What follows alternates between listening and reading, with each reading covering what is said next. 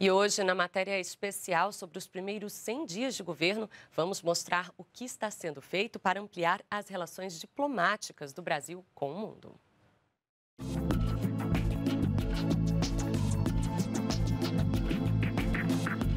Hoje, a alegria toma posse do Brasil, de braços dados com a esperança.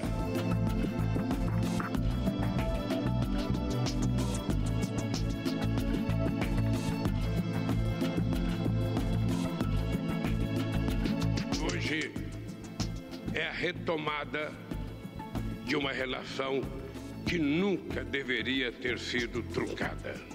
Estoy seguro que como consecuencia de esta estamos dando origen a un vínculo estratégico mucho más profundo que durará por las próximas décadas.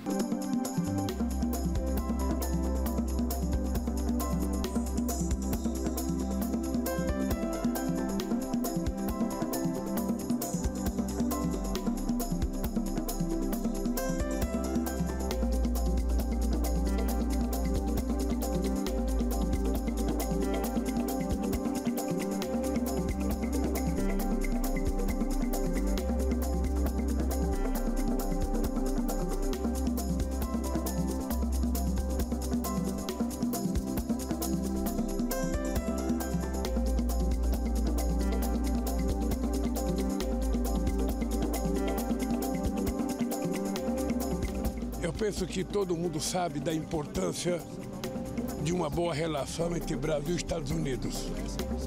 Seja a relação do ponto de vista econômico, comercial, seja a relação do ponto de vista político, seja a relação do ponto de vista cultural, é muito importante que nós estejamos juntos.